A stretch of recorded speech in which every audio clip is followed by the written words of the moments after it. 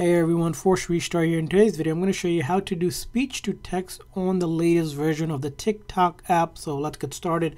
So in order to do this feature, first thing is go ahead and open up TikTok. Then you're going to click on that plus icon like you would to record a TikTok video. So I'm going to go ahead here with the 15 seconds one, but you could do it for 60 seconds, 10 minute, whatever. So pretend like you would be recording a video. So this is example. I'm going to be using this as example so we're just going to record something and then from there on I will go ahead and add some text.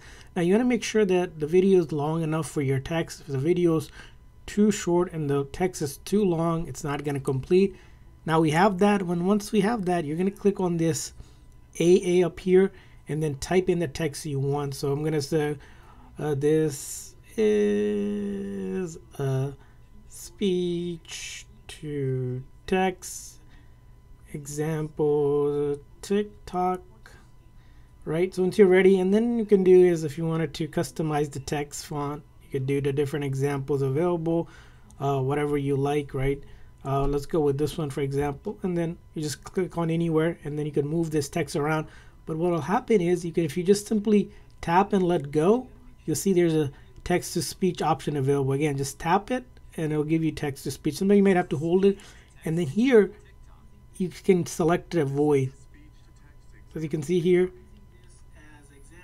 This is a speech to text example.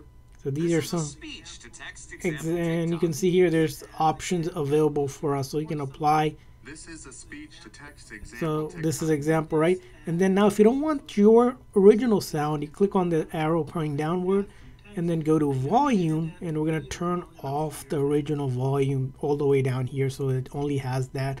This and, is a speech to text and as you can see here TikTok.